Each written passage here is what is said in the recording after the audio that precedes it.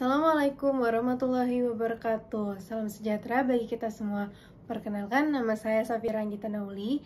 Biasa saya dipanggil Safira. Saya lahir di kota Medan pada tanggal 24 Oktober 1998 Saat ini saya berdomisili di kota Medan, Sumatera Utara.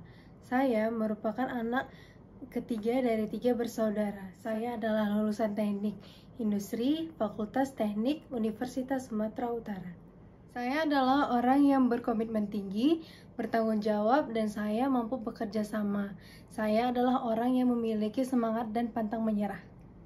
Saya memiliki pengalaman kerja praktek di perusahaan PT Riau Andalan Pulp and Paper pada divisi Supply Chain Management. Tantangan yang pernah saya hadapi yaitu ketika kuliah, saya menjalani beberapa laboratorium yang bekerja sama dengan satu tim dan harus bisa menyelesaikan dengan waktu kurang lebih tiga bulan dan saya dengan tim saya harus mengerjakan laporan dengan hasil yang baik.